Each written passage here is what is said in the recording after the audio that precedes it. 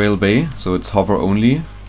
Once you're at the very last part where you can see the finish line and stuff, like about here, just turn around, hug the right wall here, go up the ship, and then when you go down the ship, go all to the left.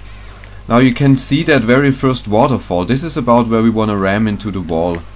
Just slightly before it. About here, where the water hits the land. And then move to the left.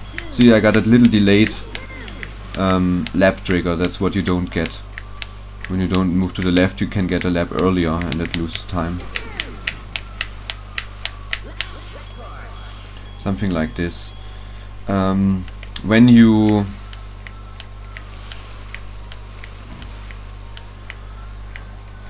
uh, when you go backwards and you you go too far here, there's a chance that you tr trigger the lap already when you hit it. Like you can experiment with going a bit earlier than what I did. Like if, if I would go here in the waterfall, I would instantly trigger the lap. So yeah, I usually have that waterfall as a reference, but you know here when there's a, a part where the water meets uh, meets the drag like here it's like roughly where it where it where it hits it when the water is at full level. This is like a good reference for the optimal spot.